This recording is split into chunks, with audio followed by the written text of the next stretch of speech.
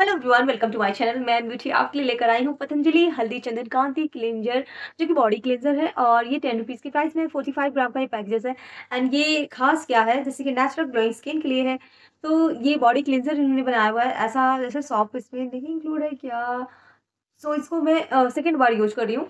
इससे पहले मैंने बहुत दिन हो गए इसको यूज़ करें एंड टेन रुपीज़ की प्राइस में तो बहुत ऐसे सॉप आते हैं इसका कोई फिक्स नहीं है। मैं बदल बदल के यूज़ ही करती हूँ ऐसा सबको होता है।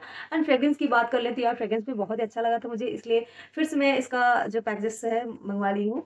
और ये वाह! वाक़ई में फ्रेगरेंस बहुत अच्छी है, चंदन चंदन की ऐसा ज़्यादा फ्रेग्रेंस आ रही है और हल्दी की थोड़ा-सा आपको कलर दिख रहा होगा, हल्दी और चंदन मिक्स है, हल्दी का कलर है और चंदन की फ्रेगरेंस है, ऐसा ये सौंफ है। तो बॉडी पर आप इसे यूज़ कर सकते हो, फेस पर नहीं, फेस पर सौंफ नहीं यूज़ करना है, फेस के लिए हम फेस वॉश ही यूज़ करेंगे। एंड uh, जिसकी बॉडी में बहुत ज़्यादा रेशेस एंड उनको प्रॉब्लम होती है ना जैसे कि पिंपल्स वगैरह की तो ये यूज़ कर सकते हैं। दाद धब्बे होते हैं ना स्किन पर वो भी uh, ये कवर करते हैं। अगर आपकी स्किन काफ़ी सेंसिटिव है तो मैं नहीं कहूँगी सेंसिटिव स्किन वाले से यूज़ करते हैं नॉर्मल स्किन वाले से यूज़ कर लें। एंड ड्राइनेस स्किन है तभी ये आप नहीं यूज़ करें तो ज़्यादा बेस्ट है। एंड ऑयली स्किन वाले एंड नॉर्मल स्किन वाले normal to oily skin best है।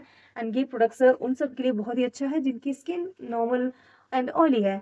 सो कॉम्बिनेशन वाले भी इसे यूज़ कर सकते हैं क्योंकि कॉम्बिनेशन को रेसेस एंड ऐसा बॉडी में uh, जैसे पिंपल्स वगैरह कहीं कभी कभी हो ही जाता है क्योंकि उनकी स्किन uh, जो होती है ना एक प्रॉब्लम्स होती है कॉम्बिनेशन होती है स्किन मौसम के हिसाब से वो स्किन बदलता रहता है। तो uh, कुछ ऐसा होता है ना कि विंटर में स्किन बहुत ज़्यादा ड्राइनेस हो जाती है और अदर सीज़न में एक नॉर्मल स्किन देता है।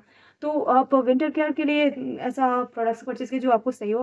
वैसे ट्राई करने में किया जाता है? टेन रुपीज़ की प्राइस में है आप ट्राई कर सकते हो। Okay bye